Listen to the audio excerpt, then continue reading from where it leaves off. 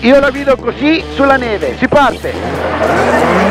Seconda, terza, frenata dolce, ma decisa anche nella parte ingresso curva, via di traverso, prima, seconda di traverso e la macchina prende velocità con la trazione. Ricordiamo che ha quattro ruote motrici, per cui qui la trazione ci salva sempre molto. Molto, non si sta in piedi ragazzi qua. Frenata di traverso inizio curva, muso all'interno, giù gas in fondo.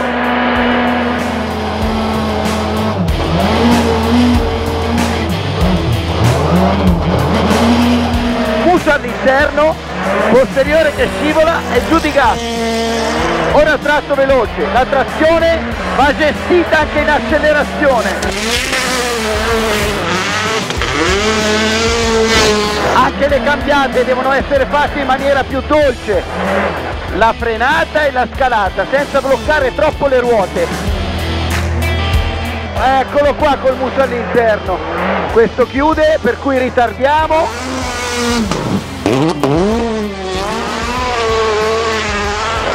Senti il bloccaggio dei differenziali, che spettacolo!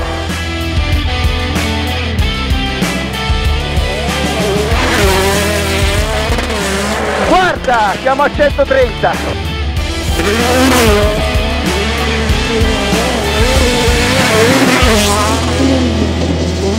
Peugeot 208 T16 Io la guido così sulla neve.